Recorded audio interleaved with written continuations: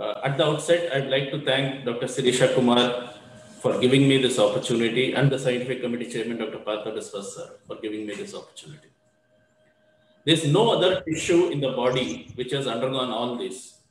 Incised, removed, split, excised, dissected, cauterized, galvanized, heated, coagulated, irradiated, rotated, depositioned, inverted, transplanted, and grafted. Way back in 1953, Dr. Rosenthal had commented about it. And what is so special about this tissue? Despite all these, it's notorious for its recurrence. We are going to talk, talk about how to reduce the recurrences and one of the techniques which is used, most common technique, that is conjunctival autografting. So in any case of pterygium, I would like to do conjunctival autografting. Let's also remember Sushruta, our own. What is important here, way back in 100 BC, he had described the pterygium procedure. And please look at these two particular sentences, two particular points. Root of the pterygium should be pushed back from the black outline and it has to be removed in toto, even if necessary with a scarifying agent. But then we all know what the scarifying agent is to do. What are the options we have as of now for treating pterygium? Simple old bare sclera. We used to do this long, long, long back. Or transposition of the head, shifting the head to a different direction so that it grows elsewhere conjunctival autografts or rotation grafts, amniotic membrane grafting or limbal conjunctival autografts or use of any adjuvant, those scarifying agents which he was talking about, these are not scarifying, but reducing the, or use of lasers. Of these, the three common procedures that are, produ- that are uh, used nowadays are this, something to do with grafting. Either it could be conjunctival, amniotic, or LCAT, what we used to. As regards the recurrence rate, that's the most biggest problem. Now, if you look at the recurrence rate, I've taken just one article, different article gives different recurrence rate. This was a meta-analysis actually.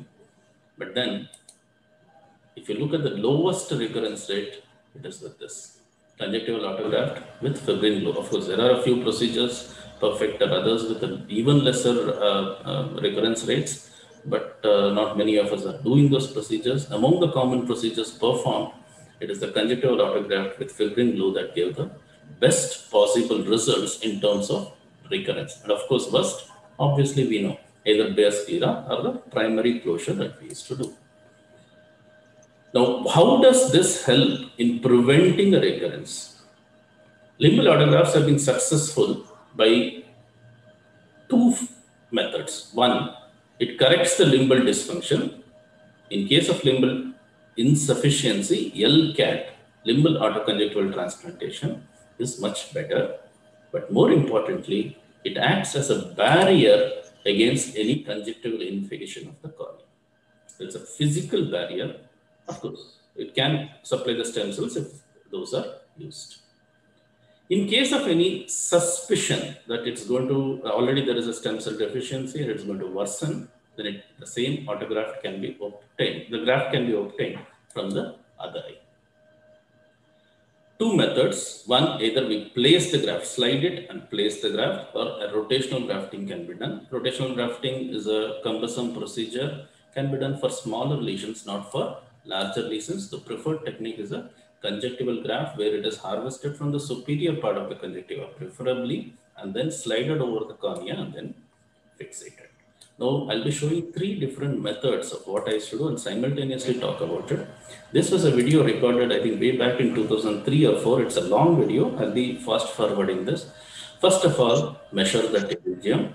Make sure we mark on the superior part of the conjunctiva. Use a mark. And then dissect the, conjunctiva, dissect the pterygium whatever, there are various methods for this. Dissect the pterygium, make sure the fibrotic tissue is removed completely, the subconjunctival tissue. Meanwhile, uh, trying to retain as much of conjunctiva as possible. Remember, pterygium, it's not the fault of the conjunctiva, but it's a subconjunctival electro, uh, elastotic degeneration. So that subconjunctival tissue, we have to concentrate, remove it, at the same time, taking care not to damage the medial rectus, particularly in recurrent uh, pterygium cases. Primary pterygium, it's easy, but recurrent pterygium cases, we have to be more careful. And then in this case, those days we used to use mitomycin C also. I've used the mitomycin C. Then infiltrate xylocaine in that marked area. The same size is marked here, but however, when we cut, you will be noticing that it will be slightly larger than the marked area that we take. And with the conjunctival scissors, the flap is created, making sure that it's slightly larger than the marked area, as well as the thinnest possible flap without any conjunctival buttonholing is to be obtained. So the Tenon's, if at all, if it is there, has to be removed so that there is better addition here. So I'll try to first one. Now, how do we state this? Remember, this limbal orientation has to be maintained here. So after separating the graft, it's better to slide it or at least use some people use a linear mark so that it can be uh, in this case I've got hold of with two forceps and then shifted it so that the limbus part remains on the limbal side and this is one of the oldest cases fibrin glue was not available we had not designed any new techniques so I'll be using 80 vicryl to suture this point to be noted I'll just fast forward to the end point to be noted is that perfect apposition has to be obtained. Any space that is left out, there's a chance of recurrence. The donor area is also sutured. Now, with the advent of new techniques, we got this. Somewhere down the line, we got glues, biological. Mark the conjunctiva. Make sure that you mark the area where there's a difference from the normal conjunctiva to the abnormal. That much is enough. And then the subconjunctival tissue is removed, sorry, and for fast forwarded, making sure that there is a polishing done, and then the graft, in this case, was slided. The glue appears in two different containers, but one on each side, fibrin and uh, the other one on each side. Again, make sure that there is very good apposition on all sides, so that in the sorry, in the end, make sure that this apposition is done. The glue is put on two different surfaces so that there is enough time for apposition. Lack of time. This is the glue, very costly. Nowadays, it's not available. So we have the Indian variants, but the Indian variants are not working so well. One of the alternatives that came up a few years back was to use patient's own autologous uh, serum. How do we obtain this? I'll skip the uh, pterygium removal part. The conjunctival graft is obtained slided onto it. But what is more important, before this graft was obtained, this area was cauterized so that there's no excess blood. And then just before placing the graft, fresh bleeding is induced among one or two. We need fresh blood, remember that. And this works as well as the fibrin glue. My last slide.